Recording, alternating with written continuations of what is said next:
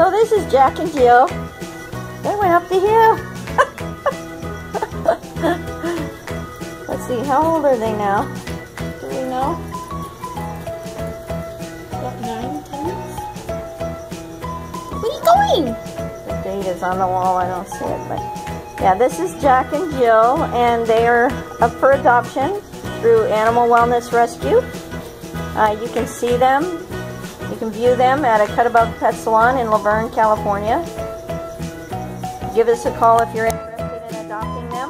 The number is 951 203 5560 and they're very friendly. They've been body, bottle fed and they will be ready to go very soon. You can reserve them now. They haven't been fixed yet, but they're almost ready to be fixed. They have had some shots. They're ready for more shots soon.